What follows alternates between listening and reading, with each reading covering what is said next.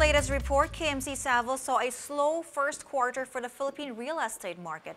To discuss this and their outlook for the rest of the year, we have with us Melo Porciuncula, Head of Operations and Investments, KMC Savills. Hello, Melo. Hi, good so, morning. talk to us about that. There's you, you notice a slowdown in real estate transactions for the first quarter. Well, I think it's natural. Uh, two things happened uh, with the first quarter. One is, you know, a slowdown in the capital markets across the globe. But another thing, of course, is the uh, elections that happened in the country. And so, you know, everyone had a wait and see attitude towards it. But I think that's normal. Every year, every time there's an elections, it happens. But how, how did it compare to last year's first quarter? Was it very far apart? Were they far apart? Um, I think I think one thing that we have to consider as well is the attitude of most developers now.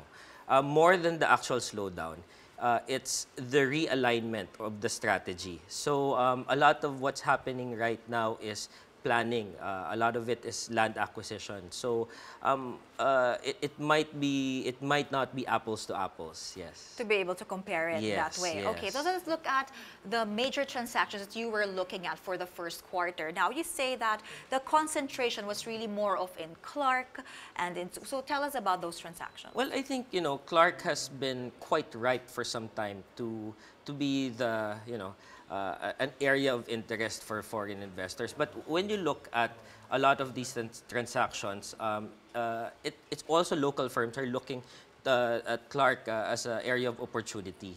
Um, so you know, a lot of these are um, wh- when you look at the joint ventures that were developed, uh, it's looking forward. Uh, Clark Green City, um, but some are still uh, with the, the the current opportunities that Clark offers, which is in leisure. So will this also signify the outlook for the rest of the year, meaning a, a look outside of Metro Manila and developments really going maybe provinces down in the south? I think um, it's it's a general sentiment of developers. I mean, again, uh, there's a lot of opportunities outside of Metro Manila. The focus has been on Metro Manila for so many For years long. now. Yes, and and you know we saw this happening about two three years ago. Land banking started happening uh, not just down south, no, but across the Philippines and quietly. Um, but now it's starting to come up and it's now starting uh, to be developed. And you really expect a big pickup for the rest of the year when it comes to these real estate transactions. So, what kind of transactions are you seeing? Are you seeing more acquisitions, more developments, or more, for example, joint ventures? Because we have um, these big companies like SM, Federal Land joining together. Uh, what, what do you see? Well, I think one, I, I'd like to point uh, towards what you said earlier, which I think um, a lot of developments will happen uh, outside of Metro Manila. Uh, but I, I also, you, you mentioned it correctly, I think we'll see less spending on development, but more spending on uh, land bank or acquisition. So I think it's just, you know, uh, it's just, uh, it's a normal progression. They've been developing for seven, eight years constantly, no?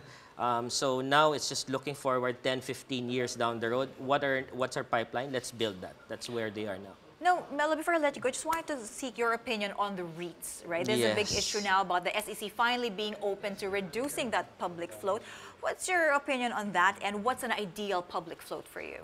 Well, I think uh, the, the public float for me uh, will really depend on the openness of the developers. I think more than assigning a number to it, the public float pretty much tells you that they uh, it it it, uh, it signifies uh, signific uh, it it uh, it shows control rather. So I think that's what they're uh, considering more than the actual amount that's being floated.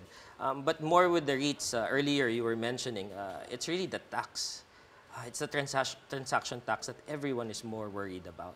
Yeah. That it's going to give more burden to the real estate agents and not encourage them to go Yes. there. But once these are resolved, you see a big uh, interest from companies for this, Uh, as well as from the public. I think more than that, I think it's retail investment. It opens up everyone to investing in real estate, um, at least from a retail perspective or the public's perspective. But also, you know, affordable capital. It it, it, it becomes uh, it becomes present for smaller developers because uh, you, you know uh, in the in the recent uh, years, a tightening in terms of uh, uh, uh, funding uh, has been implemented. So I think it's a, it's a great thing uh, for small to medium-sized developers. Especially as they compete against the bigger ones who are joining together. definitely, Thank you, definitely. Melo.